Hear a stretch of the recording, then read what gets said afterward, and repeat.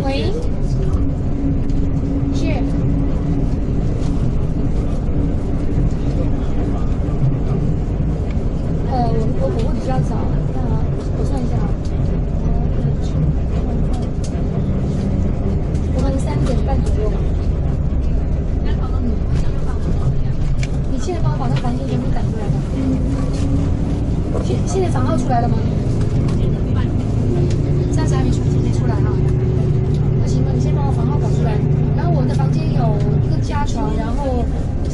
后剩下的标间对吧？啊，对哈，OK，那你先帮我整理房间，我三点半左右会到电话。谢谢谢谢。然后还没出来。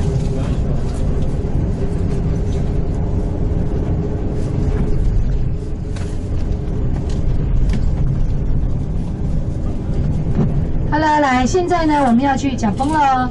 来，大家看一下哈，我们现在出了这一段这一段路出去啊，全部都是瑶山的这个景区，旁边好多夜总会，所以现在开了很多的农庄。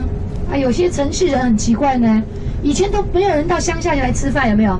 现在城市都吃吃腻了，都家家都有车子，开着车子他跑到乡下这边来吃，觉得说吃土鸡呀、土鸭啊、土鱼呀、土菜呀，什么南瓜花啊、南瓜苗啊。地瓜苗啊，这些以前都喂猪的呢，现在都喂人，还很贵呢，真的年代不一样哈。来，你们看这边夜总会，你看这个山，人家都卖到山上去了。这这座山属于我们村的，那我们村里面大家来怎样？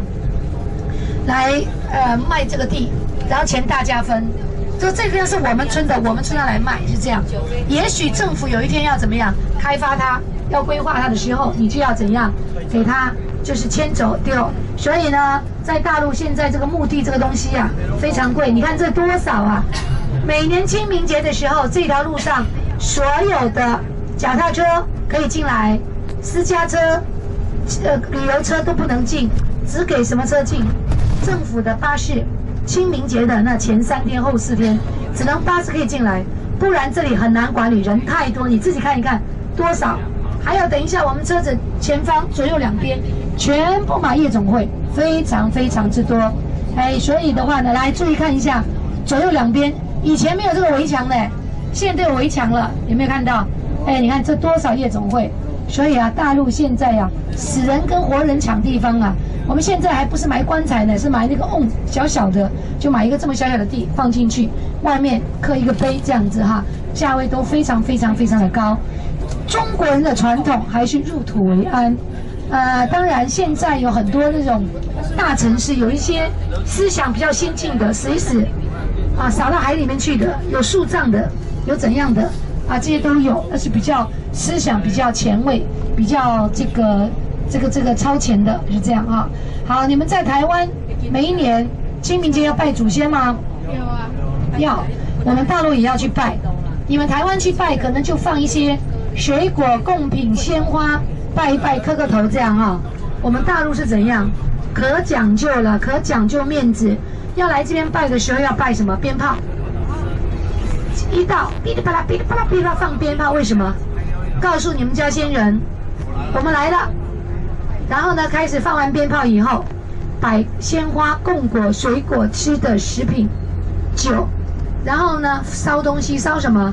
烧房子、烧车子、烧一切的生活用品，啊，什么都烧。如果下面的仙人是女生，烧个男人给她用；下面的是女生，烧个这个这个；下面的是是男生，烧个女人给他用。啊，烧信用卡、烧美、烧美金，什么都烧。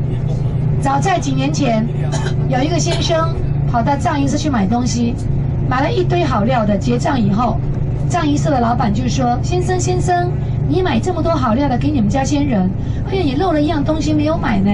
这是什么东西啊？”他说：“你怎么不帮你们家先人买一个现在市场最流行的苹果电话呢？”哎呦，老板，你们摘呀啦！我们先人下去了都四五十年了，他们摘要苹果电话安来使用。哎呦，你 out 了啦！你摘要不？发明苹果电话的乔布斯。